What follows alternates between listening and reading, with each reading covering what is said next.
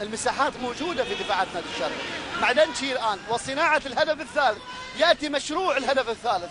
كرة ملعوبة. بيلعبها باري باتجاه حسني. حسني على الطرف الأيمن. شوف التنقلات الجميلة للأهلاوية في الشوط الثاني. حسني عالية. وعرضية. السلام الله الله يا مترو الله الله يا أهلاوي! ثلاثية أهلاوية من أروع ما يكون لباريه. في المباراة الكلاسيكية.